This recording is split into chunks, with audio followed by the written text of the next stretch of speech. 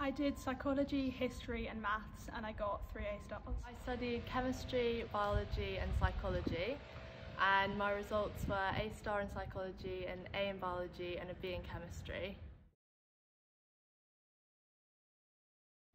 I think it's a bit annoying because you're never quite sure how the exam would have gone but I think in the end it all worked out all right. At the beginning I was really quite disappointed because um, I thought like it, it, it, you sort of miss out the opportunity to show how like how you've improved from your especially from your mocks and beforehand.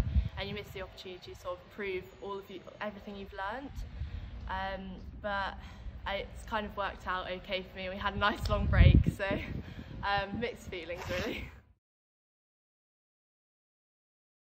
I think there was always emails telling us what was going on and up to sort of when the exams were definitely cancelled we have we had stuff to do and keep us busy which was really nice. was really good in sending out um, lots of work at the beginning and it kept kept my mind fresh as well. I think if we had just stopped doing any work whatsoever I would have got really bored during that period so that was really useful as well. We just kept ticking over like on all of my subjects and then afterwards they did a uni um, sort of bridging courses so I did a medical sciences bridging course which I found really interesting and there were lots of subjects related to veterinary and also medicine and it was really interesting to sort of do that for six weeks.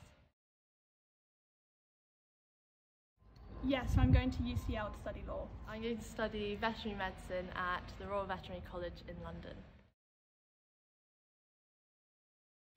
I'm really looking forward to studying law because it's just a different subject. I've never done it before, so I think that'll be exciting. I'm really looking forward to sort of being a bit more independent, especially living in halls and um, cooking for yourself and sort of having a lot more of an independent kind of lifestyle as well.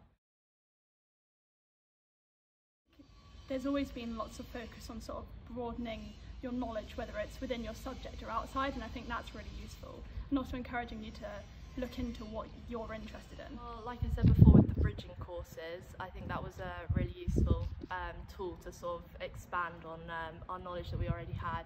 And also um, they did like cooking competitions as well, like getting ready um, for uni cooking. So I did a couple of those as well.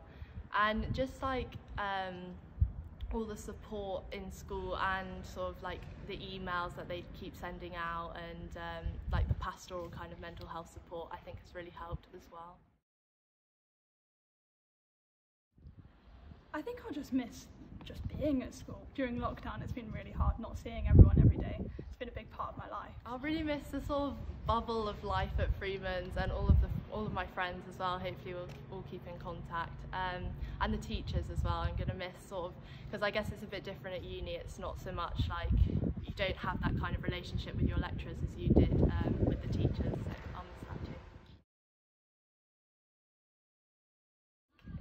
There's been so many different memories, but definitely during sixth form, becoming head of school, that was definitely a highlight. Definitely the colour run that I did in lower six, I found that really fun and that was a really good way to sort of integrate and mix with everyone else.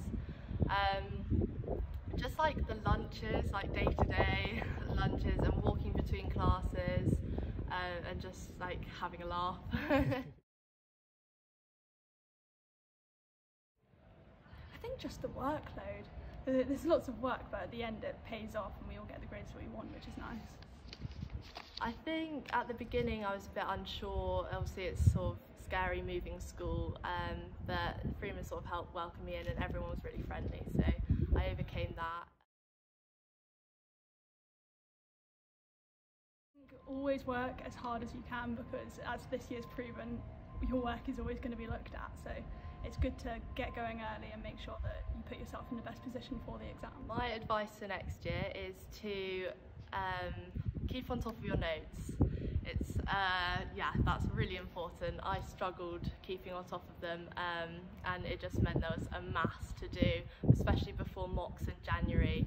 Um, I found that really stressful. So if you keep on top of your notes as you go, that is so helpful. And also when you're opening your results, definitely open your UCAS track first to see if you've got into uni before opening what your actual grades are because my entry requirements were three A's, which I didn't get. So if I'd opened my um, school-based results first, I would have been really disappointed. But if you open your UCAS track and I saw I got in, so